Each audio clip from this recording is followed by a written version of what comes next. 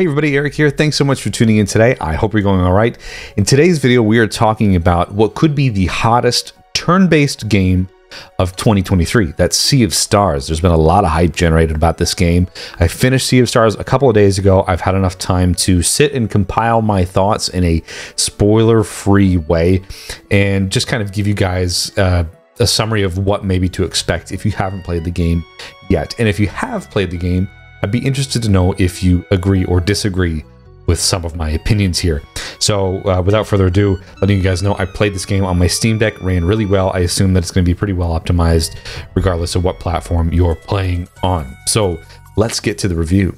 Developed by Sabotage Studio, funded via Kickstarter, and released August 29th, 2023, Sea of Stars is a turn based RPG that's unashamedly inspired by some of the greatest games of all time. But is it more than that? The game starts off with two up and coming Solstice warriors, Zale and Valerie, training to cleanse the world of dwellers, which exist purely to destroy the world and are part of the evil Fleshmancer's plan again for destroying universe and all that kind of stuff. I'm not saying any more to avoid spoilers, and I won't comment on the plot more than this, but essentially, bad guys are bad and good guys are good. Go beat the bad guys up as the good guys. You know how it is. There's lots of characters you meet along the way, plenty of charming dialogue to keep you entertained, and of course, this is all driven by a beautiful pixel aesthetic that Sea of Stars has to offer. The art direction in this game is really sublime, so even if you're not a fan of the older games, it's really hard to not appreciate the time and effort put into the visuals of this game. I will say that I felt I wanted more of like a bright and sunny and like lush green areas to the game, but at the same time, it's probably fitting considering the premise. Regardless of that, even towards the end of the game, the sense of immersion is really driven by the visuals. If you've played that far or even beaten the game, chances are you know what I'm referring to. Sea of Stars also offers the occasional animated cutscene, which was a really welcome surprise and greatly complemented any scene you would find them in. The battle system is an easy concept to grasp. It's very similar to the Mario and Luigi style games with timed hits for blocks and attacks. Can also, depending on the abilities of the character, for example, Zale is Sun, Valerie is Luna, Garl is physical with like the hammer icon, you get the idea. You can either stop an enemy turn or decrease the power of a pending attack. The one problem I found is that oftentimes there aren't enough turns to actually do that, but in the grand scheme of things, it's pretty insignificant because the game is overall pretty fair in terms of difficulty. I only once got a game over very early on thanks to some enemies that kept spawning allies. Beyond that, it was very easy, more or less, even without the ability charms that give you kind of like the story mode experience. Being able to swap characters mid-fight is also really handy in the event of being down on healing items or wanting to use a combo attack with somebody who isn't currently present in the fight. There's a lot of inspired by things like the Sunball attack being a callback to the Geno Beam from Super Mario RPG, as I mentioned before, the timed blocks and hits from the Mario and Luigi games, the list goes on.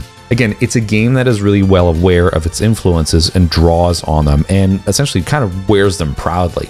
In basic terms, the combat overall was fairly straightforward and not really much of a challenge, even towards the latter end of the game.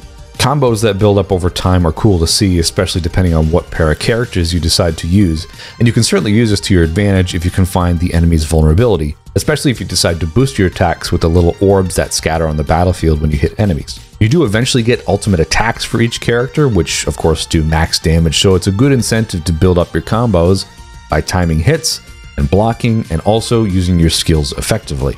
Now, the level up system, in my opinion, was a little bit undercooked. Similar to like Mario RPG, when you finish a battle and then you level up, you go to this extra screen where you can select a specific stat boost. The Sea of Stars example, you can do physical defense, HP, attack power, mana points, which are like your magic points, and so on and so forth. I feel like doing that doesn't really add a whole lot because you already level up specific stat points, you know, as you grow. So I don't know. I feel like it really didn't have that much of an impact, but of course, if you wanted to go for health points the entire playthrough and and stack up HP for your characters, you can do that. But again, I really don't feel like it had that much of an impact. The pacing of levels and new equipment felt about right. Every new area you find has a new equipment store or the equivalent to upgrade. You always seem to have enough money as well, even if you need to sell off some stuff, so there's no need to grind either because the battles are predetermined similar to Chrono Trigger style where enemies are always present on screen. Some battles you can avoid, but honestly you're better off just taking the extra minute to fight them for the EXP or the cash reward at the end. Now I will say the puzzles in this game were a, welcome change considering I've literally just come off playing Final Fantasy Pixel Collection 1 through 6, so having to use a little bit more brain power to get through some levels was was really nice honestly and kind of reminded me of Golden Sun puzzles, which are really fun. And especially, I love Golden Sun. I'm a huge fan of that series. So seeing something similar, I mean, I don't even know if it's inspired by, but having some extra means of traversal kind of made me use my noodle a little bit more. I liked that. It was fun. Some of the puzzles could have benefited from being a little bit more difficult, especially in the later um, stages of the game. Some of them were just kind of very simple. I would have expected maybe a little bit more difficult puzzles than just pushing a few blocks or flipping some cards and matching them. That's just me. Soundtrack wise, which was my favorite part of the game hands down, it's pretty well flawless. There's two composers handling the tracks in Sea of Stars, Eric Brown as the main composer and guest composer Yasunori Mitsuda, most known for Chrono Trigger, Chrono Cross, Xenogears, and Xenoblade Chronicles. The list goes on. Absolutely amazing.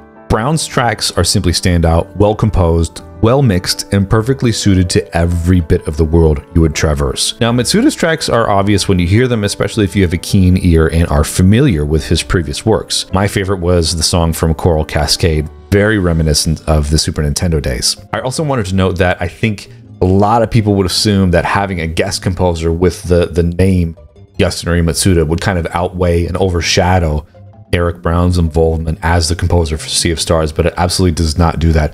Honestly, Eric Brown's work is very, very well done, really well done, and shouldn't be overshadowed by Yasunori Mitsuda's involvement. In fact, they complement each other quite well to the point that if you don't know that there is a guest composer, you would assume that one person just compiled all these songs because they're blended pretty well and pretty much, I think, sharing the same sample libraries and stuff to make sure that all the sounds are consistent. So Again, everything is really consistent, really well done, and uh, props to Eric Brown for doing a really, really great job on the soundtrack. Sea of Stars is linear for about 95% of the game until, of course, you unlock a better means of traversal, then you can hit all of the extra places you've seen and unlock the doors that you couldn't open previously.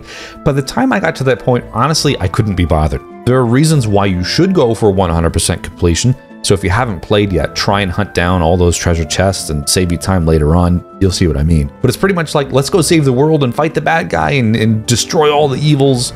Or we can actually wait and backtrack a bit to everything that's been interesting along the way that we couldn't interact with, get some of the game's best equipment, tidy up some loose ends.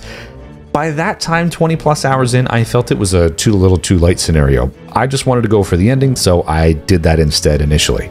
Now I've saved this talking point for last the story.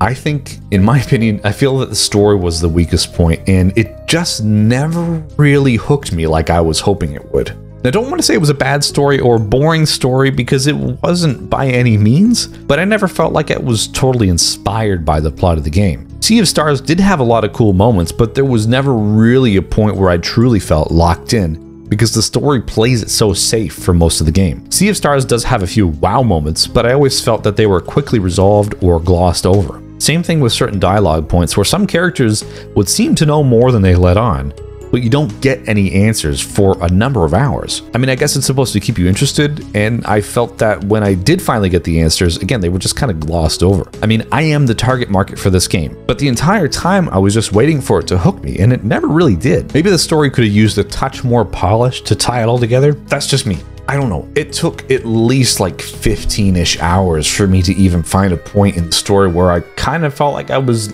loosely locked in. But again, it just never really landed for me. Overall, with the ending considered, Sea of Stars leaves little to be desired in my opinion.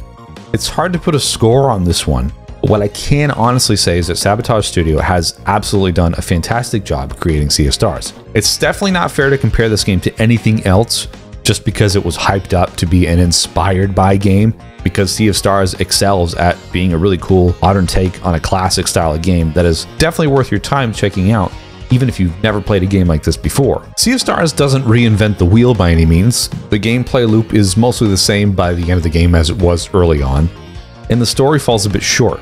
But overall, I think it was a good experience that's worth seeing through till the end and beyond. I really think this is a case of mileage may vary kind of game, depending on how the story lands with you, especially. So there you have it, Sea of Stars. Was it all it was hyped up to be? Well, I can confidently tell you that I went in with no expectations other than really loving the demo.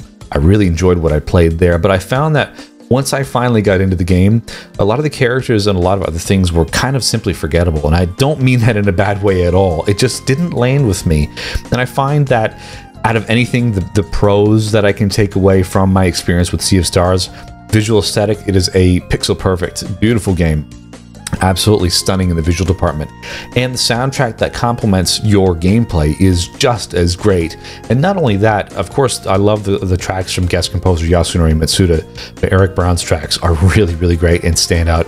And I really hope to get a copy of that on vinyl should Sabotage Studio ever bring that on wax, as they say. And if you have finished Sea of Stars, I'd be really interested to know if you agree with me or disagree with me on some of my thoughts on the game. And if you haven't played it, again, it's really worth your time checking out, even if I didn't really love the story as much, you might love it way more than I did. And I suppose another food for thought question is, if this game were released back in 1994, would it be a golden era turn-based RPG? I don't know. You let me know. If you enjoyed this video, please leave a thumbs up or a like, comment down below. Let me know your thoughts on today's program and subscribe if you haven't done so already. That being said, thanks so much for watching. We'll see you again on the next video. Take care.